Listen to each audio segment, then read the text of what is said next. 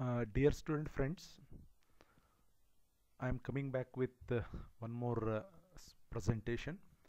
So in our uh, previous classes, right, uh, or previous class in particular, we started from this thing that is the major component of IoT.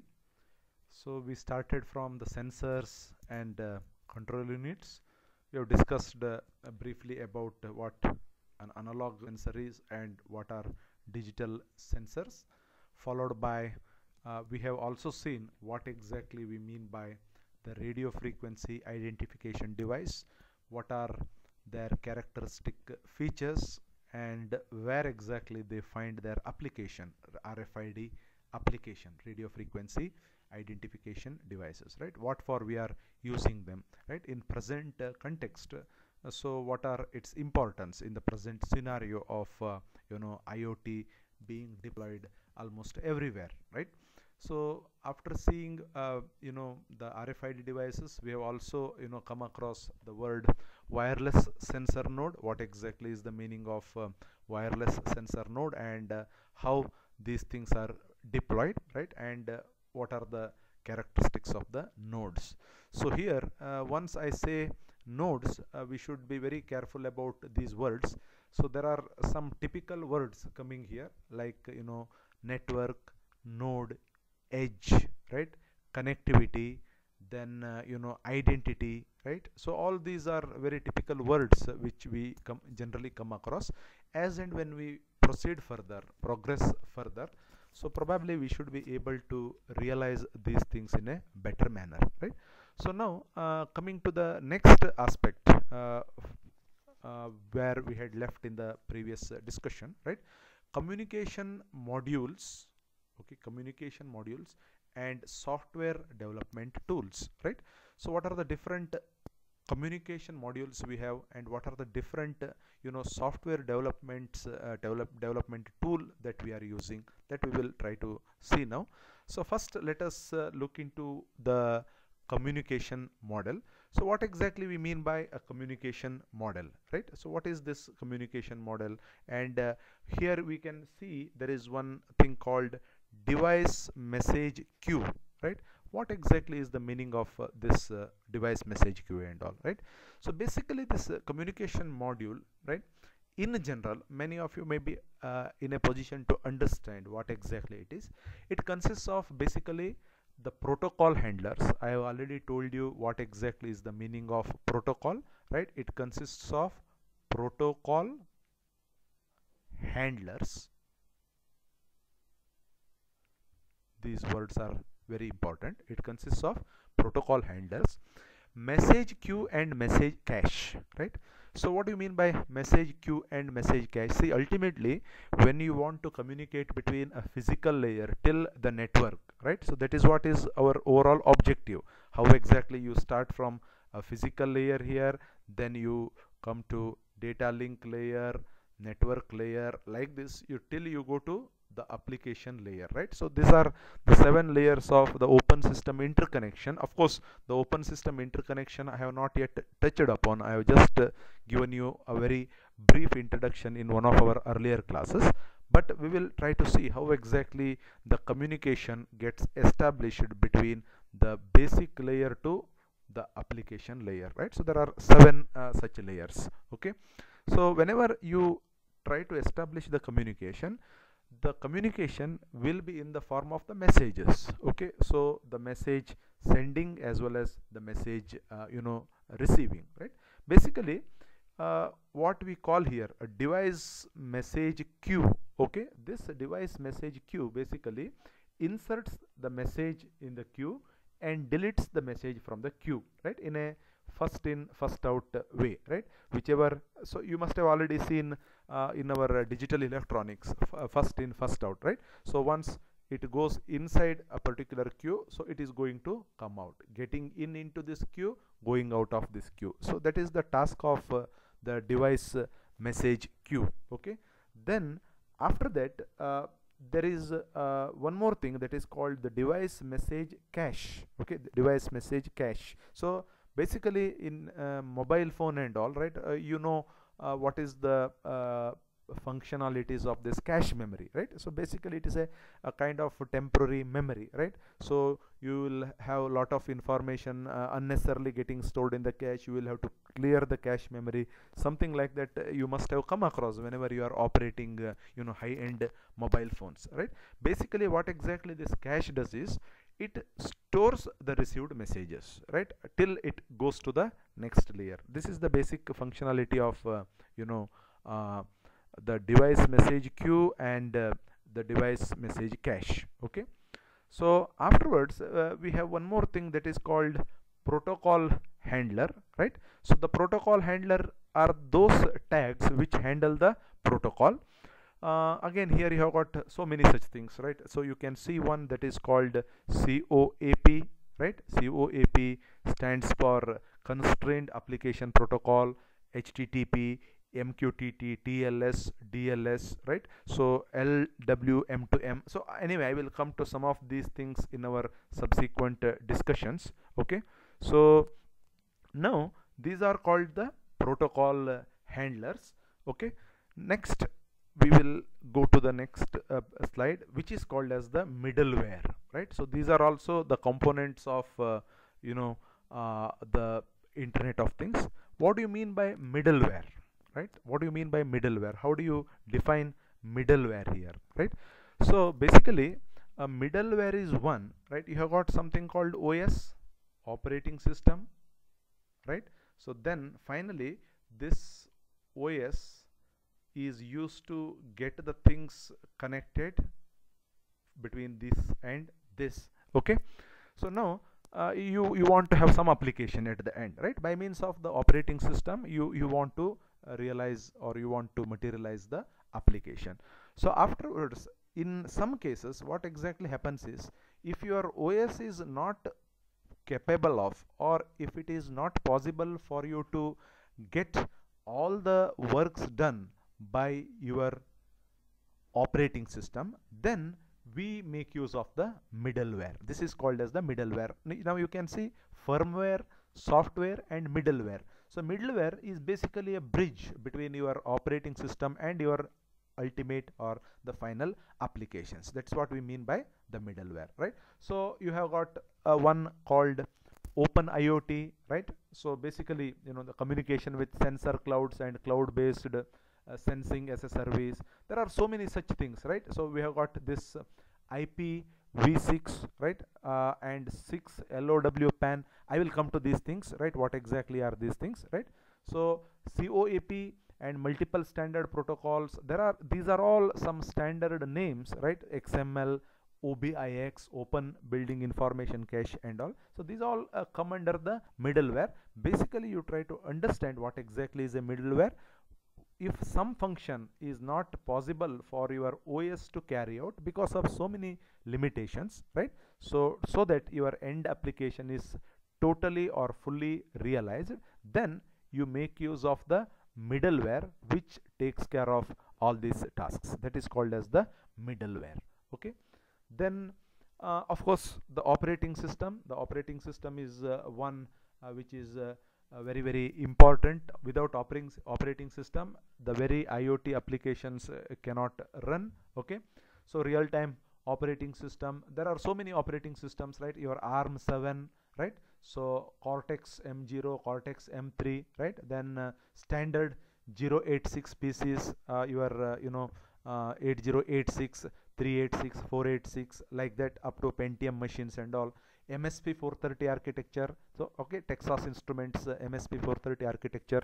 Uh, maybe you are familiar with this in your microcontroller TI MSP 430 some of the features and other things you must have already come across these also serve as some of the operating systems okay then you have got one more very very important the raspbian right so raspbian are very popular uh, systems I mean the operating systems which are presently being used for the normal applications as long as the IoT applications are concerned right? A popular Raspberry Pi that is that is Raspberry Pi what we call right operating system based on the Debian distribution of Linux right? So these are uh, uh you know the uh, basic uh, sources from where these uh, operating systems have been developed right? You have got Alljoyn right? So you have got uh, you know Qualcomm then so many other type of uh, OS are th- this is Android okay? So uh, OS with APIs available for Android or iOS this is for the Apple right? OS X then you have got uh, Linux and all. These are the basic uh, different types of the operating systems which we generally come across in the IoT scenario. I am talking again about the major components that you come across in the in uh, IoT scenario. The OS is the most important one. Again you please recall uh, we start from some sensors or something like that. Then we enrich that information. We gather the information. We enrich the information. We transmit. Finally we analyze the information here as per our requirement right? So from layer to layer it is it is required for you to go from this layer to this layer to this layer. So this type of connectivity has to take place uh, with the proper coordination between the different uh, hardware as well as the software. The os takes care of most of the software uh, you know uh, tasks which is to be carried out there. Okay? So now let us go to the next slide wherein we will uh, discuss about uh, you know uh, the IoT software architecture this is again a very important one IoT software architecture. What exactly you have in the IoT software architecture right? How does it look like? Now please have a look at this diagram. I will just zoom it up okay? So that it is uh, clearly visible to you right? So now uh, you can see here in this uh, you start from um, the basic uh, layer here IoT device hardware physical devices and controllers right? So what exactly you see here? You see the sensors correct or not? Here you see the sensors. It could be the machines. It could be the devices. It could be the intelligent edge nodes of different types. I will tell you what exactly is the meaning of uh, intelligent edge nodes. Again while we discuss about this you please recall the example that i have given earlier.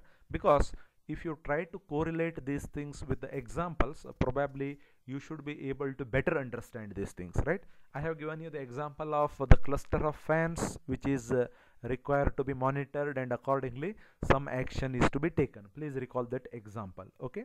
So now that example whatever we have taken earlier that we will try to correlate with these steps here. We are please note that we are going in this particular direction. So we have got uh, the IoT devices and hardware. Just now I have mentioned about the sensors machines devices and other things. Then you go to what is a very important thing called edge computing right? So the basic informations right? You you have enriched the informations right? Uh, as long as the input uh, I mean the output from your sensors and other things are concerned you have enriched the informations right? So there the basic type of computations what are required for you to finally feed in this data for your top level processing at the higher layers right? So that is what we mean by the edge computing here right? So what exactly the edge computing? Basically it is the data element analysis and transformation. Data element analysis. These words you have to take and transformation. Data element analysis and transformation. That's what exactly your edge computing does here. Okay? So now uh, after that okay let me again make it slightly big so that it is uh, clearly visible to you. Okay? Right. So now from edge uh, i mean uh, computing you will go to the connectivity interface. Correct? You have got the connectivity interface maybe this is also referred to as uh, you know the IoT uh, sorry the connectivity or communication and processing units right? So this is the connectivity interface. Then it goes to the connectivity right? We have already seen that in our layered approach when we have seen it in the Cisco uh, you know the conceptual uh, framework of our IoT right? It goes to the connectivity uh, or the communication and processing units then you have got uh, what exactly is done here is uh, you know uh, the data analysis or the data abstraction right? Maybe it is also referred to as aggregation and it is also called as access right? So accumulation of the data and management of the data. So all these things data analysis uh, data abstraction data accumulation data accumulation then management of the data. So afterwards it will go to the application layer. Again recall those layers right wherein you have reporting analysis and control. So finally you have the integration collaboration processes and services. Ultimately what service is being provided to you as an end user that all depends upon these lower layers. What exactly goes from here right? So based on that the big data analytics or whatever you call it right? So the uh, process and other things take place. And finally you should be able to you know uh, manage you should be able to acquire you should be able to organize as well as uh, the analyze the data on the cloud right? So finally it goes to the cloud. You know what exactly is the meaning of cloud right? Basically cloud is a you know uh, you know the service uh, which is uh, the provision which is given for the end users to store your data and retrieve your data. So your google drive is one of the finest examples of the cloud is it not? So all of you must be using the google drive. So 15 GB is given to every account right? Every account holder. Uh, if you want more than that then you will have to buy storage right? So this is what is their business strategy and all. So 15 GB which otherwise you should have stored in your pen drive or something like that right? So instead of that they are providing it in your uh, you know cloud okay? So this is uh, uh uh, one important uh, aspect that is uh, what we call here it as one second I will zoom it out. Yeah so that we can clearly see these things right? You start from the hardware and you have got the edge computing right? So then you have got uh, the application then finally you will go uh, to have all these things uh, stored in your cloud for whatever you call it as the managing acquiring organizing and analyzing the data. Okay this is what is uh, the IoT software architecture uh, very important even uh, from the point of view of your examination. Again it is coming under the major components of the IoT right? IoT software architecture. How exactly the software architecture looks like right? Then as I've already told you the cloud basically a service right? So as you can see there are so many um, you know cloud platforms specific to IoT right? Please note that it is specific to IoT right? You have got Sense you have got ThingWorx you have got Nimbits right? Xively so many such things are there. Cisco IoT right? These are all the cloud platforms which provide you the service. We have got everything. This I have already mentioned earlier. TCS cup these are all the different cloud services. If you go to their uh, respective websites right you will come to know in what way one is uh, superior to other or what qualities you have as far as their service providing abilities are concerned. Okay? So uh, next we will go to the control units. Again we are coming back to the lower uh, layers now. So control units also play a very very important role as long as uh, you know uh, the basic uh, the physical layer is concerned right? So most commonly right you have got a microcontroller unit no need to mention anything about uh, the microcontroller unit but let me tell you what are the different microcontroller uh, uh, uh, you know units or the microcontroller chips which are very popular in the IoT scenario right? Atmega series almost all the Atmega series microcontrollers are very very useful right? You have got ARM Cortex ARM LPC so many such things are there. These are a few things uh, to mention about right? So next coming to this you can uh, see this diagram. Uh, this diagram is a very very uh, popular diagram for you. I don't want to go into the details of this in a very detailed manner you have already studied in your fourth semester what exactly a microcontroller looks like right so please have a small look at this and let us move on to the next uh, slide right you got the processors ram you know the flash uh, programmable IO ports, general purpose IO ports, serial ports, PWM, ADC, communication interface. I have also told these things in the beginning also that a microcontroller is different from microprocessor because it has got so many embedded features in it, right? Which otherwise should have been done externally, which would have been a burden on the user. But here, since all these things are embedded in a single chip, most of the times uh, simple applications could be directly realized without much uh, hardware complexities okay this is what is the uh, you know uh, basic diagram of your microcontroller though you have studied it since it is a part of IoT I felt that uh, it should come okay? So now coming to uh, the other types of uh, you know microcontrollers specific microcontrollers right? Arduino you know right? So Atmega 32U4 the certain features that your Arduino you know provides for you to uh, realize some of the applications right? So that you should be able to uh, you know appreciate here. It includes Wi-Fi Ethernet USB ports micro SD card slot and three reset buttons. And it of course runs with the Linux operating system. I don't go much into details of these things. Uh, these are the general informations. Like that you have so many uh, you know uh, the microcontroller boards okay? You have got Intel Galileo right? Um, uh, in this Intel Galileo you have got power over uh, Ethernet and six analog inputs you have. uh, there are different features you have. I, I, I of course I have not uh, uh, shown you all the features right here. As and when those things come in detail right we will discuss about those things. This is another uh, you know type of the microcontroller. You have got uh, BeagleBoard I have made a mention about uh, these things in the beginning also right? So why we go for the beagle board is it has got very low power requirement right? It is a card like computer can run both for the Android systems as well as uh, the Linux right? So this is an additional feature using your uh, you know uh, computer I mean mobile phone also which are Android phones. You should be able to realize some applications using BeagleBone, right?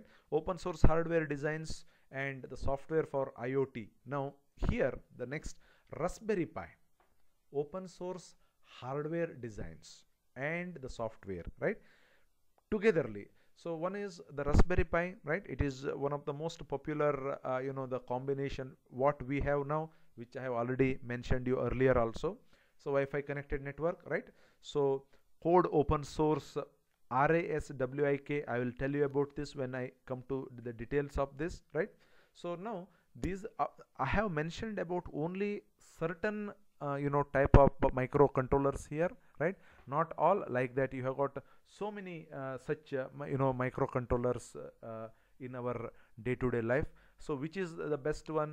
Which is the most uh, appropriate one that we have to see from the practical experience of the designers okay? So these are some of the things. And now let us these are some of the you know major components that we come across in our uh, uh, internet of things uh, scenario right?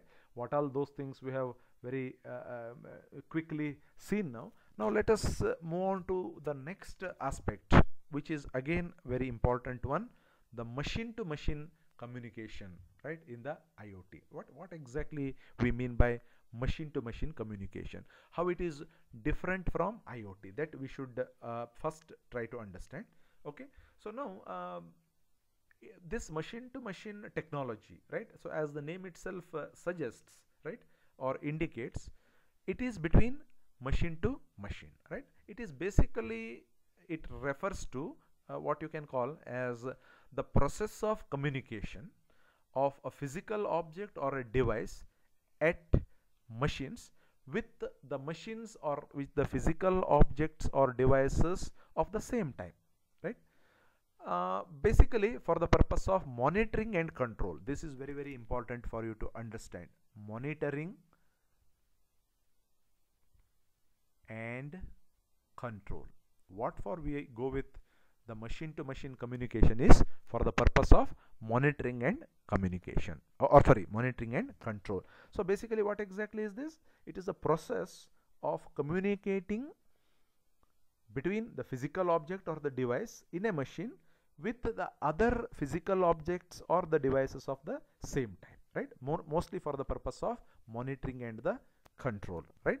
Now um, whenever we speak about the machine to machine uh, communication uh, you must have something smart devices something called smart devices. Otherwise uh, monitoring and controlling becomes very difficult because one important point to be noted here is that in machine to machine communication we never come across internet.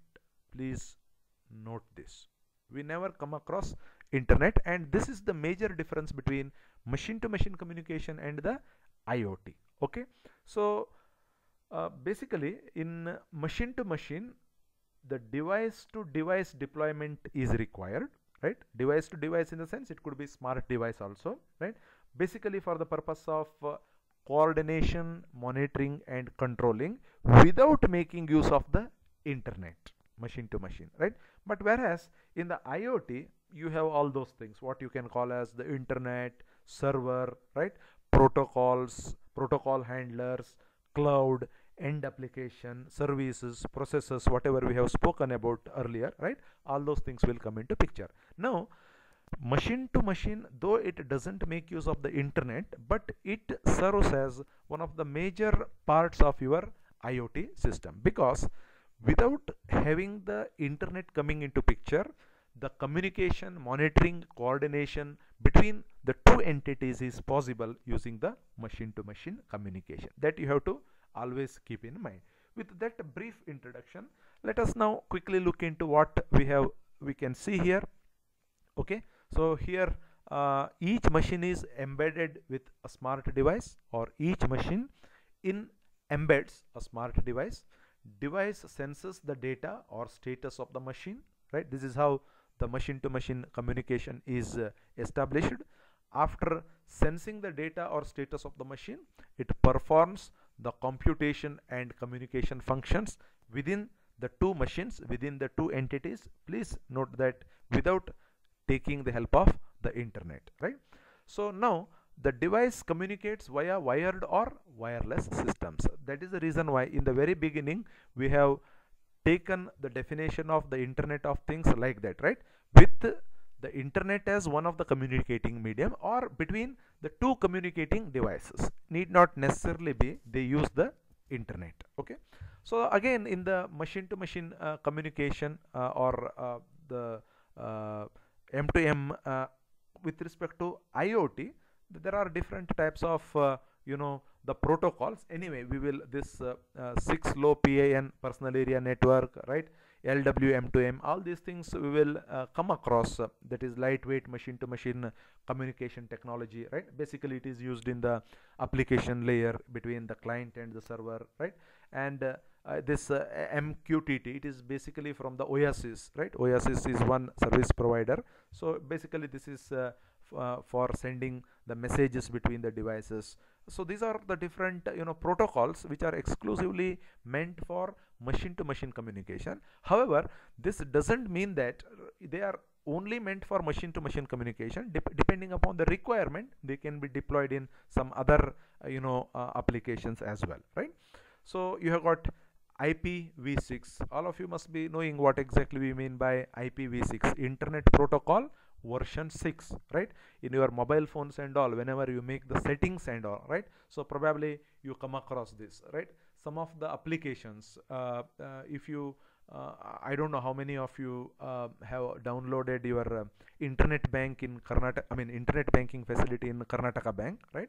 So this Karnataka bank internet bank facility in my Android mobile it was not getting uh, activated. That site itself was not getting accessed once I change my setting from IP4 to IPv6 so everything got uh, you know uh, connected. Because they do some applications under certain platforms right? Certain protocols. This is only for your information okay? So this IPv6 is the most uh, recent version of uh, internet protocol. Basically it is in the network layer right? So uh, uh, the the latest version what you can call is the IPv6 okay these are some of the aspects related to uh, machine to machine uh, uh, with respect to IoT and you can see there the technology closely relates to IoT which uses smart sensors to collect the data that is transmitted via the internet to the other devices.